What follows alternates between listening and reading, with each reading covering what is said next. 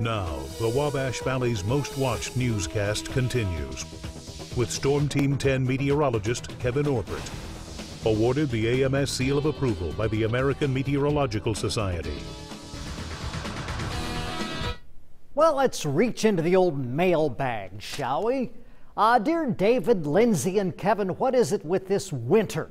I thought the groundhog did not see his shadow, meaning an early spring. I and many others are wanting to retire our winter clothes for a whole year and go to the lake to swim, fish, and camp. When will it heat up in Terre Haute? Tim Wood wrote that. Says, Dear David, Lindsay, and Kevin, but I'm sure it's just for David and Lindsay. So, um, at any rate, it's 36 degrees under a cloudy sky with some occasional flurries going on. Don't expect much in the way of accumulation, and we have a northwest breeze at 9 miles per hour. Paris 14, Mattoon 16. This is a steady wind.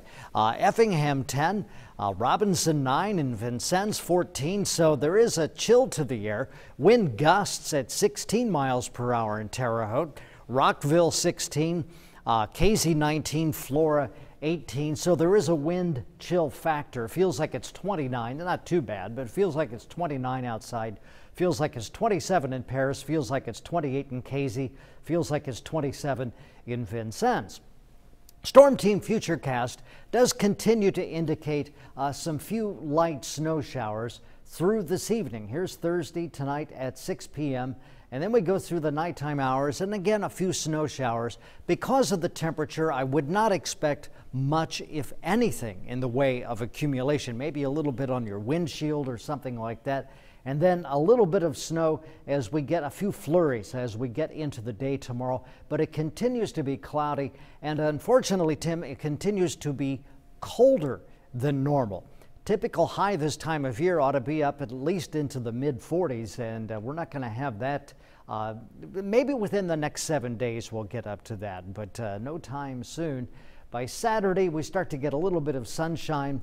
Uh, the precipitation is out of here by Saturday, and so this takes us through Saturday at 8 o'clock in the morning. So occasional snow, a gusty northwest wind, 39 degrees for the daytime high today.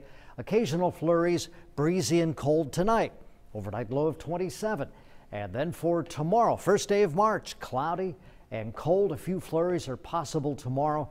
And then the seven day forecast. Saturday and Sunday, it stays dry. Again, a few flurries are possible on Friday, high of 37. Saturday and Sunday, 35 and 36.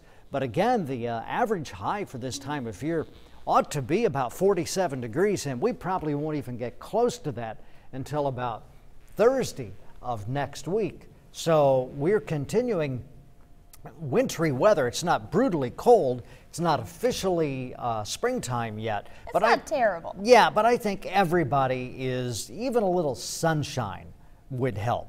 But I'm going to forward that, that note to uh, Dave and Lindsay because we're going to ask them for some sun. Can they make that happen? I think they can if they choose to. We're just kind of put it on them, Kevin. Yeah, that's that's how I work. All right, sounds good. yeah, yeah. Thank you, Kevin. Yeah.